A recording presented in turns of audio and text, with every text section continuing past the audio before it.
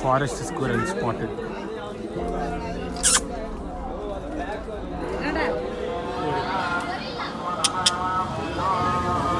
Langur langur. Gorilla కాదు.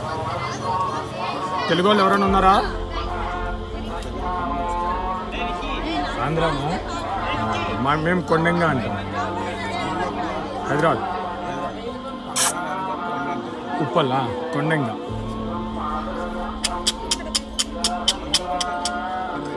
English.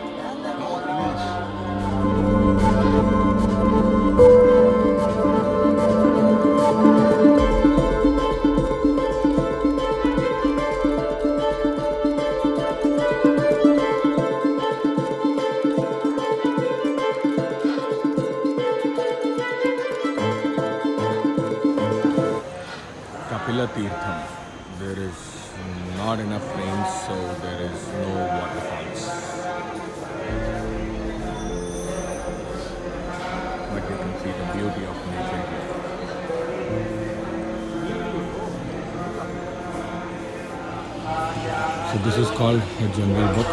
This is a typical wildlife park developed by uh, Tirupati officials. So let us get inside and see how it looks.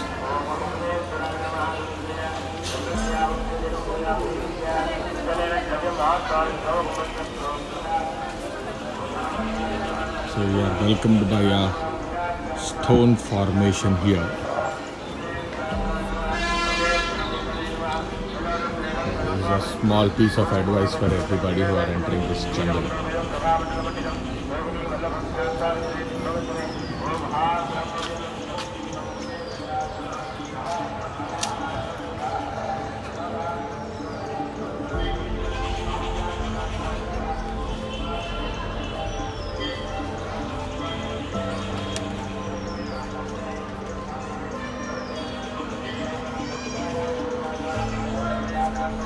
Jungle is always beautiful, no matter how it is.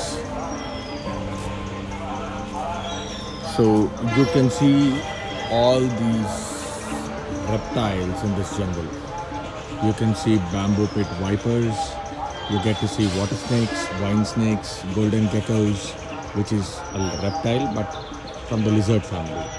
You can see the dynamic king cobra, common kraits, pythons, chameleons, saw-scaled viper, rattlesnakes, tortoise and monitor lizards. So if we are fortunate we can see any of these, but if the footfall is more, you don't see anything.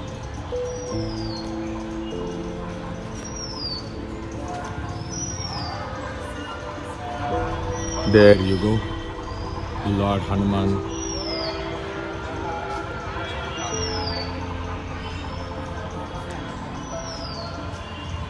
So this is called Kapila Teertham to Alipiri Nature, uh, Na- Nature Trail.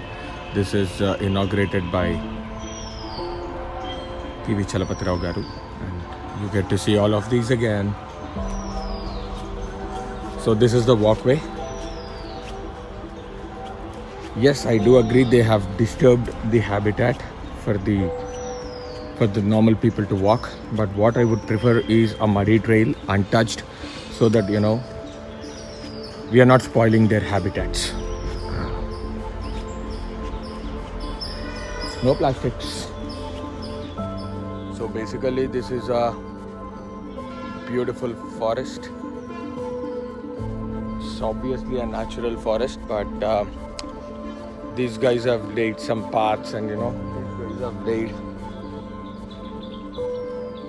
some trees artificially. So this is not a complete natural forest, to an extent this is. And uh, if you walk straight for about uh, 100 150 meters, you get to see uh, a small bridge wherein you can take this bridge to go up.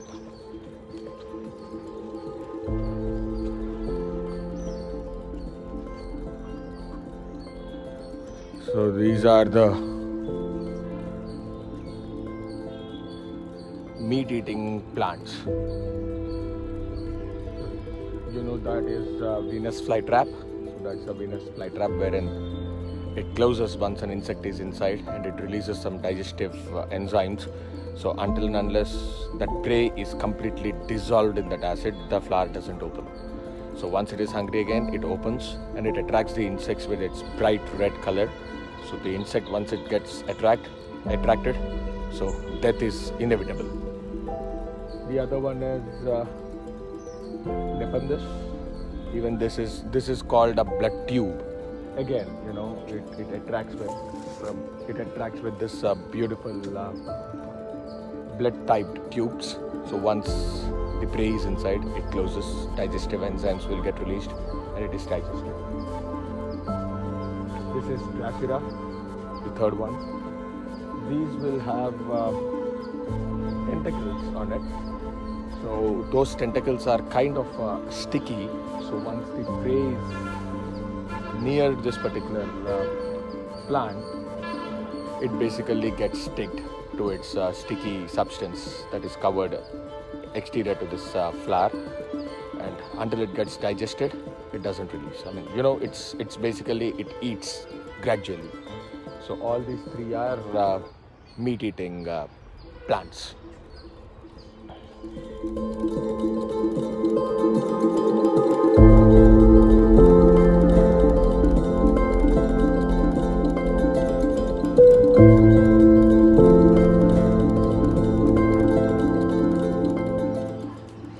once you're up, you'll get inside this uh, watchtower.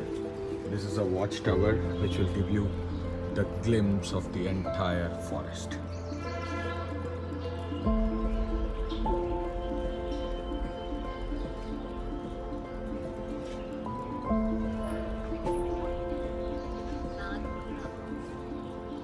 So this is it. So I'm currently in the on the watchtower.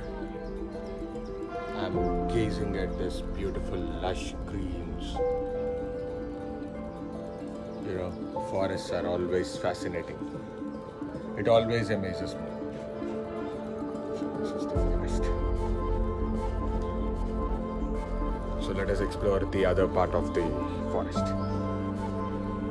This is a beautiful forest tree.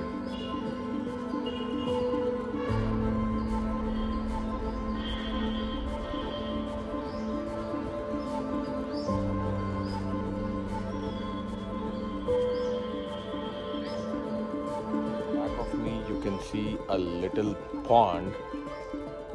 So this pond is being dug to quench the thirst of many birds which are residing in this particular forest. So this is again a log bridge.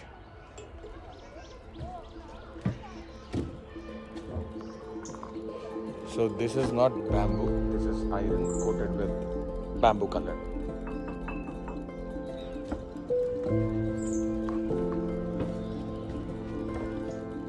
So you can see at the back of me, there is this uh, insect called Bombardier chattel. So what it does is when you try to go and catch that particular insect, it spits a, a very hot liquid onto your face. Probably can spit about 20 centimeters uh, from its uh, place, which is uh, approximately 100 degrees centigrade, which is actually a boiling. Uh, it is more than a boiling water.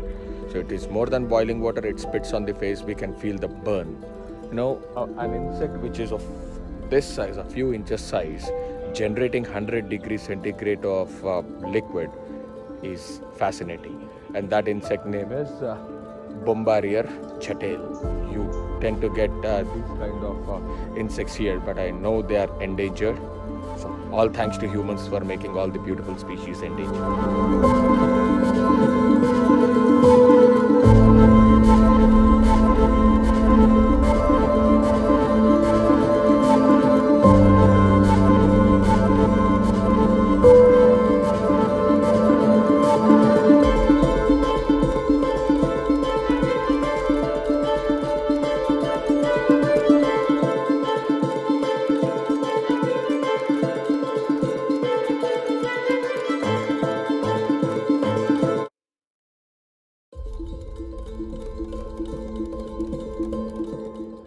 Actually the best thing about this forest which i liked the most is though they have spoiled the very nature of the forest by laying roads they did not disturb the plants. If they have plants in the middle of uh, the path where they proposed the, to lay the roads they just laid the road. You can say they have covered everything in cement so how will this particular tree get uh, watered? So since the roots are inside the roots will automatically go in search of water.